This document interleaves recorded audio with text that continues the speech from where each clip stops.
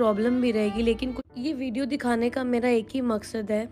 हम गणेश जी की पूजा करते हैं, लेकिन दूसरी साइड देखो, इन बच्चों का क्या हाल किया जाता है, जो गणेश जी की सवारी माने जाते हैं। कुछ लोगों को मेरी इस वीडियो से काफ़ी प्रॉब्लम भी रहेगी, लेकिन कुछ लोगों को ये वीडियो अच्छी भी लगेगी।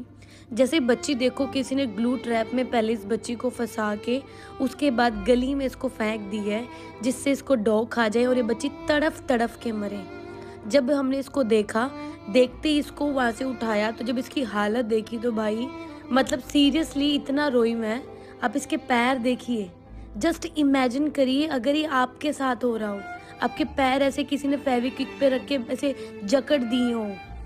कई बार तो बच्चे अप, अपने आप को बचाने की कोशिश करते हैं जिससे ग्लू ट्रैप में इनके पैर ही इनके अलग हो जाते हैं। आप अगर किसी को ज़िंदगी दे नहीं ना सकते तो आप उसकी ज़िंदगी ले भी नहीं सकते। जो बच्चे ये ये दर्द फील करते हैं ना, एक दिन थोड़ी सी देर के लिए अब अपने ऊपर फील करके देखना। समटाइम ये बच्चे हमें भी काट जाते हैं। इट डजेंट मीन कि हम उनको जान से ख़त्म कर देंगे। आप इतने सेल्फिश मत होइए। जितने भी सारे बेजुबान जीव हैं, भगवान ने बना के भेजे हैं, जैसे हमें भेजा हुआ है। तो हमें इनकी रक्षा करनी है, ना कि इनको मारना है। अगर ये नुकसान करते हैं तो आप इनको पिंजरे में डाल के किसी और जगह मूव कर सकते हो, लेकिन आप इनको ऐसे तड़फा तड़फा के नहीं मार सकते। तो प्लीज़ ऐसे बच्चों को तड़फा के मत मारिए, आपसे एक ही विनती है।